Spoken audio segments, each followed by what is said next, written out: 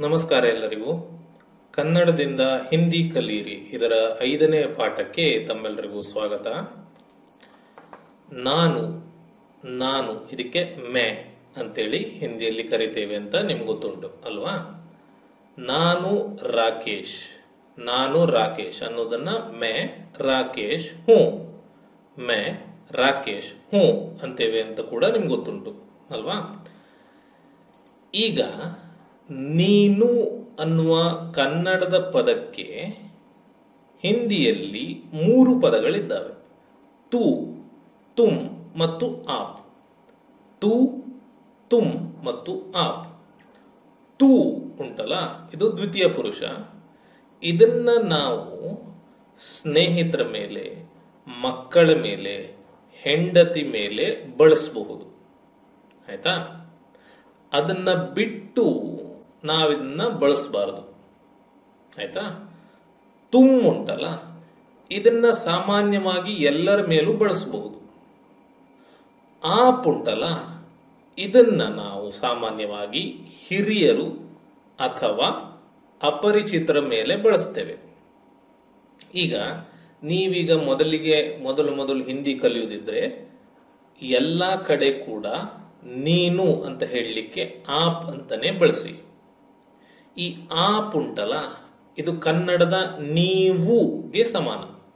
ನಾವು ಹಿರಿಯರು, ನಮ್ಮ ತಂದೆ, ತಾಯಿ ಅಥವಾ ಹಿರಿಯರನ್ನು ನಾವು ಹೇಗೆ ಹೇಳ್ತೇವೆ? ನೀವು ಅಂತೇವಲ್ವಾ? ನೀನು ಅನ್ನೋದಿಲ್ಲ, ನೀವು ಅಂತೇವೆ. ಮತ್ತೆ ಅಪರಿಚಿತರು ಇರ್ತಾರೆ, ನಿಮ್ಮ ಮನೆಗೆ ಬೇರೆ ಯಾರೋ ಬಂದಿರ್ತಾರೆ, ನಿಮ್ಗಿಂತ ಸಣ್ಣವರೇ ಇರ್ಬೋದು, ನೀವು ಯಾರು ಅಂತ ಹೇಳಿ ಕೇಳ್ತೇವೆ ನಾವು. ನಮ್ಗೆ ಗುರ್ತ ಇರೋದಿಲ್ಲ ಅವರು, ಅಲ್ವಾ? ಹಾಗೆ ಕನ್ನಡದ ನೀವು ಅನ್ನೋದಕ್ಕೆ ಆಪ್ ಅನ್ನುವಂಥದ್ದು ಸಮಾನ. ಈ ತು ಅನ್ನುವಂಥದ್ದು ಏಕವಚನ ತುಮ್ ಹಾಗೂ ಆಪ್ ಅನ್ನುವಂಥದ್ದು ಬಹುವಚನ, ಆದರೆ ಏಕವಚನಕ್ಕೂ ಅದನ್ನು ಬಳಸಬಹುದು. ಕನ್ನಡದ ನೀವು ತರವೇ. ಕನ್ನಡದಲ್ಲಿ ನೀವು ಉಂಟಲ್ಲ, ಆ ನೀವು ಅನ್ನುವುದನ್ನು ಒಬ್ಬ ವ್ಯಕ್ತಿಗೆ ಬಳಸ್ಬೋದು ನಾವು. ಆ ನೀವು ಅನ್ನುವುದನ್ನು ತುಂಬಾ ಜನರಿಗೂ ಬಳಸಬಹುದು, ಅಲ್ವಾ? ನೀವು ನನ್ನ ತಂದೆ. ನೀವು ವಿದ್ಯಾರ್ಥಿಯರು. ಹೀಗೆ. ಅಲ್ವಾ? ವಿದ್ಯಾರ್ಥಿಗಳು. ಸರಿ ಅಲ್ವಾ? ಹಾಗೆ ತೂ ತುಮ್ ಹಾಗೂ ಆಪ್ ಅನ್ನುವ ಮೂರು ಪದಗಳು ನೀವು ಅನ್ನೋದಕ್ಕೆ ಇದ್ದಾವೆ. ಈಗ ನಾವು ಕೆಲವು ಉದಾಹರಣೆಗಳನ್ನು ತಗೊಳ್ಳೋಣ ತೂ ತೂ ತೂ ಡೇವಿಡ್ ಹೇ. ತೂ ಡೇವಿಡ್ ಹೇ.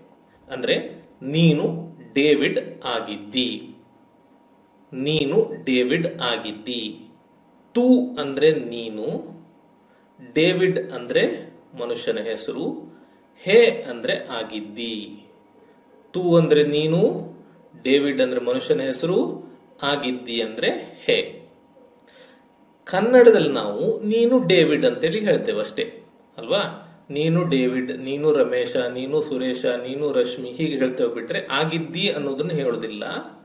ಆದರೆ ಹಿಂದಿಯಲ್ಲಿ ಆಗಿದ್ದಿ ಅಂತೇಳಿ ಹೇಳಲಿಕ್ಕೆ ಇರುವಂತ ಪದ ಹೇ ಅನ್ನು ಬಳಸಬೇಕಾಗ್ತದೆ. ತೂ ಡೇವಿಡ್ ಹೇ. ಆಯ್ತಾ? ನೆಕ್ಸ್ಟ್, ತು ಮೇರಾ ಭಾಯಿ ಹೇ. ತು ಮೇರಾ ಭಾಯಿ ಹೇ.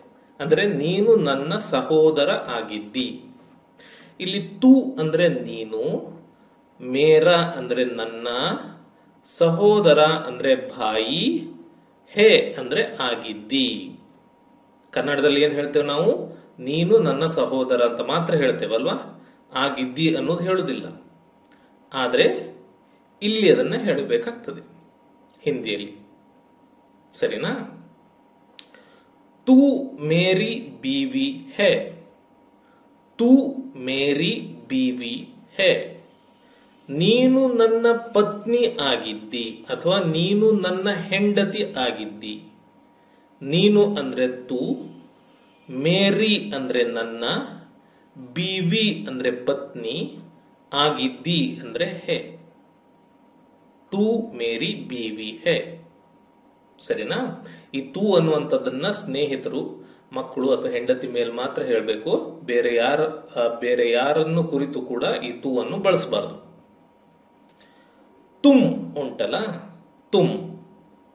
ಇದನ್ನ ನೀವು ಸಾಮಾನ್ಯವಾಗಿ ಎಲ್ಲರ ಮೇಲೂ ಬಳಸಬಹುದು ಏನ್ ತೊಂದರೆ ಇಲ್ಲ. ತುಮ್ ಡೇವಿಡ್ ಹೋ. ತುಮ್ ಡೇವಿಡ್ ಹೋ. ಅಂದ್ರೆ ನೀನು ಡೇವಿಡ್ ಆಗಿದ್ದಿ. ತುಮ್ ಅಂದ್ರೆ ನೀನು, ಡೇವಿಡ್ ಅಂದ್ರೆ ಡೇವಿಡ್, ಹೋ ಅಂದ್ರೆ ಆಗಿದ್ದಿ. ತುಮ್ ಮೇರಾ ಭಾಯಿ ಹೋ ತುಮ್ ಮೇರಾ ಭಾಯಿ ಹೋ ಅಂದರೆ ನೀನು ನನ್ನ ಸಹೋದರ ಆಗಿದ್ದಿ ತುಮ್ ಅಂದರೆ ನೀನು ಮೇರಾ ಅಂದರೆ ನನ್ನ ಭಾಯಿ ಅಂದರೆ ಸಹೋದರ ಹೋ ಅಂದರೆ ಆಗಿದ್ದಿ. ತುಮ್ ಮೇರಿ ಬೀವಿ ಹೋ ತುಮ್ ಮೇರಿ ಬೀವಿ ಹೋ ಅಂದರೆ ನೀನು ನನ್ನ ಪತ್ನಿ ಅಥವಾ ಹೆಂಡತಿ ಆಗಿದ್ದಿ. ಇಲ್ಲಿ ತುಮ್ ಅಂದರೆ ನೀನು ಮೇರಿ ಅಂದ್ರೆ ನನ್ನ, ಬಿವಿ ಅಂದ್ರೆ ಪತ್ನಿ, ಹೋ ಅಂದ್ರೆ ಆಗಿದ್ದಿ. ಸರಿನಾ? ನೆಕ್ಸ್ಟ್ ಆಪ್, ದ್ವಿತೀಯ ಪುರುಷ, ಇದನ್ನು ನಾವು ಹಿರಿಯರು ಹಾಗೂ ಅಪರಿಚಿತರ ಕುರಿತು ಬಳಸಬಹುದು ನೀವು ಈಗ ಹಿಂದಿ ಕಲಿತಾ ಇದ್ರೆ ಈ ಆಪ್ ಅನ್ನ ಎಲ್ಲರ ಮೇಲೆ ಕೂಡ ಪ್ರಯೋಗ ಮಾಡಿ. ಆಪ್ ಅಂದ್ರೆ ಕನ್ನಡದ ನೀವು ಅನ್ನೋದಕ್ಕೆ ಸಮಾನ. ನಾವೀಗ ನೀವು ಅನ್ನುವುದನ್ನು ಎಲ್ಲರ ಮೇಲೆ ಕೂಡ ಪ್ರಯೋಗ ಮಾಡ್ಬೋದಲ್ವಾ? ಕನ್ನಡದಲ್ಲಿ ಸಣ್ಣವರಿಗೂ ಹೇಳ್ಬೋದು, ದೊಡ್ಡವರಿಗೂ ಹೇಳ್ಬೋದು, ಅಪರಿಚಿತರಿಗೂ ಹೇಳ್ಬೋದು, ಹೆಂಡತಿಗೂ ಹೇಳ್ಬೋದು, ಮಕ್ಕಳಿಗೂ ಹೇಳ್ಬೋದು ಅಲ್ವಾ? ನೀವು ಅನ್ನುವುದು ಗೌರವ ಕೊಟ್ಟು ಗೌರವ ಕೊಟ್ಟು ಮಾತಾಡಿಸೋದು. ಹಾಗೆಯೇ ಆಪ್ ಅನ್ನುವಂಥದ್ದು ಕೂಡ ಗೌರವ ಕೊಟ್ಟು ಮಾತಾಡಿಸೋದು ಅಷ್ಟೇ. ಈ ನೀವು ಅನ್ನುವಂಥದ್ದು ಏಕವಚನದಲ್ಲಿ ಬಳಕೆ ಆಗ್ಬೋದು ಅಥವಾ ಬಹುವಚನದಲ್ಲಿ ಕೂಡ ಬಳಕೆ ಆಗ್ಬೋದು ಅಲ್ವಾ ಈಗಷ್ಟೇ ಹೇಳಿದೆ, ನೀವು ನನ್ನ ತಂದೆ ತಂದೆ ಎಷ್ಟು ಜನ? ಒಂದೇ. ಹಾಗಾಗಿ ನೀವು ಅನ್ನುವುದು ಏಕವಚನದಲ್ಲಿ ಬಳಕೆ ಆಯಿತು. ನೀವು ಮಕ್ಕಳು, ಎಷ್ಟು ಮಕ್ಕಳು? ಎಷ್ಟು ಜನ ಮಕ್ಕಳು ಬೇಕಾದ್ರೂ ಇರ್ಬೋದು, ಹತ್ತು, ಇಪ್ಪತ್ತು, ಮೂವತ್ತು. ಇಲ್ಲಿ ನೀವು ಅನ್ನುವಂಥದ್ದು ಬಹುವಚನದ ಜೊತೆ ಬಳಕೆ ಆಯಿತು, ಅಲ್ವಾ? ಹಾಗೆ ತುಮ್ ಹಾಗೂ ಆಪ್ ಎರಡನ್ನೂ ನಾವು ಏಕವಚನದಲ್ಲೂ ಬಳಕೆ ಮಾಡಬಹುದು ಬಹುವಚನದಲ್ಲೂ ಬಳಕೆ ಮಾಡಬಹುದು ಸರಿನಾ? ಈಗ ಉದಾಹರಣೆ ನೋಡೋಣ. ಆಪ್ ಡೇವಿಡ್ ಹೇ. ಆಪ್ ಡೇವಿಡ್ ಹೇ ಅಂದ್ರೆ ನೀವು ಡೇವಿಡ್ ಆಗಿದ್ದೀರಿ. ನೀವು ಡೇವಿಡ್ ಆಗಿದ್ದೀರಿ. ಆಪ್ ಅಂದ್ರೆ ನೀವು, ಡೇವಿಡ್ ಅಂದ್ರೆ ಹೆಸರು, ಹೇ ಅಂದ್ರೆ ಆಗಿದ್ದೀರಿ. ಹೇ ಹೇ. ನೋಡಿ ಈ ಎನ್ ಉಂಟಲ್ಲ, ಇದನ್ನ ಮೂಗಿನಿಂದ ಉಚ್ಚಾರ ಮಾಡಬೇಕು ನೀವು. ಹೇ. ಹೇ ಹೇ ಅಂದ್ರೆ ಆಗಿದ್ದೀರಿ ಅಂತ. ಆಪ್ ಮೇರೆ ಪಿತಾಜಿ ಹೇ, ಆಪ್ ಮೇರೆ ಪಿತಾಜಿ ಹೇ ಅಂದ್ರೆ ನೀವು ನನ್ನ ತಂದೆ ಆಗಿದ್ದೀರಿ. ನೀವು ನನ್ನ ತಂದೆ ಆಗಿದ್ದೀರಿ. ಆಪ್ ಅಂದ್ರೆ ನೀವು, ಮೇರೆ ಅಂದ್ರೆ ನನ್ನ, ಪಿತಾಜಿ ಅಂದ್ರೆ ತಂದೆ, ಹೇ ಅಂದ್ರೆ ಆಗಿದ್ದೀರಿ. ಇಲ್ಲಿ ಆಪ್ ಅನ್ನುವಂಥದ್ದು ಆಪ್ ಅನ್ನುವಂಥದ್ದು ಪ್ಲೂರಲ್ ಅಂದ್ರೆ ಬಹುವಚನ ಆಗಿದ್ರಿಂದ ಅದರ ಜೊತೆ ಇರುವ ಪದಗಳೆಲ್ಲ ಬಹುವಚನದಲ್ಲಿ ಬಳಕೆ ಆಗಬೇಕು. ಹಾಗಾಗಿ ಮೇರೆ ಅನ್ನೋದನ್ನು ಬಳಸಿದ್ದೇವೆ. ಮೇರೆ ಅನ್ನುವಂಥದ್ದು ನಾವು ಪಿತಾಜಿಗೆ ಒಂದು ಗೌರವ ಕೊಟ್ಟು ಕೂಡ ಬಳಸಿದ್ದು ಆಗ್ತದೆ. ತಂದೆ ತಂದೆ ಗೌರವ ಕೊಟ್ಟು ಮೇರೆ ಅನ್ನೋದನ್ನ ಬಳಕೆ ಕೂಡ ಮಾಡಬಹುದು. ನೆಕ್ಸ್ಟ್ ಆಪ್ ಅಮೀರ್ ಹೇ ಆಪ್ ಅಮೀರ್ ಹೇ ಅಂದ್ರೆ ನೀವು ಶ್ರೀಮಂತ ಇದ್ದೀರಿ ನೀವು ಶ್ರೀಮಂತ ಇದ್ದೀರಿ ಅಥವಾ ನೀವು ಶ್ರೀಮಂತರಾಗಿದ್ದೀರಿ ಅಂದ್ರೆ ನೀವು ಶ್ರೀಮಂತರು ಅಂತ ಹೇಳುವಂಥದ್ದು. ಇಲ್ಲಿ ಆಪ್ ಅಂದ್ರೆ ನೀವು ಅಮೀರ್ ಅಂದ್ರೆ ಶ್ರೀಮಂತ, ಹೇ ಅಂದ್ರೆ ಇದ್ದೀರಿ ಅಂತ. ಸರಿನಾ? ನೆಕ್ಸ್ಟ್ ವಿಷಯ ಹಾಗೂ ಕ್ರಿಯಾಪದದ ಸಂಬಂಧ ಕಲಿಬೇಕು. ತು ಯಾವಾಗ ಬರ್ತದೆ? ಆವಾಗ ಹೇ ಬರಬೇಕು. ತೂ ಬಂದಾಗ ಹೇ ಬರಬೇಕು. ತುಮ್ ಬಂದಾಗ ಹೋ ಬರಬೇಕು. ತುಮ್ ಬಂದಾಗ ಹೋ ಬರಬೇಕು. ಆಪ್ ಬಂದಾಗ ಹೇ ಬರಬೇಕು. ಆಪ್ ಬಂದಾಗ ಹೇ ಬರಬೇಕು. ತು ಹೇ, ತುಮ್ ಹೋ ಆಪ್ ಹೇ. ಆಯ್ತಾ? ಇದನ್ನ ನೀವು ನೆನಪಲ್ಲಿ ಇಟ್ಕೊಳ್ಬೇಕು.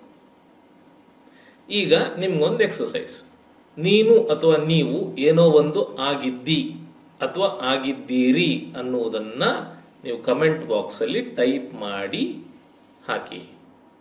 ಸರಿನಾ? ನಿಮಗೆ ನಮ್ಮ ಚಾನೆಲ್ನ ವಿಡಿಯೋಸ್ ನೋಡ್ಬೇಕಂತಿದ್ರೆ ಸಬ್ಸ್ಕ್ರೈಬ್ ಬಟನ್ ಕ್ಲಿಕ್ ಮಾಡಿ ಪಕ್ಕದಲ್ಲಿರುವ ಬೆಲ್ ಐಕಾನ್ ಕ್ಲಿಕ್ ಮಾಡಿ ಆಲ್ ಅಂತ ಕ್ಲಿಕ್ ಮಾಡಿ.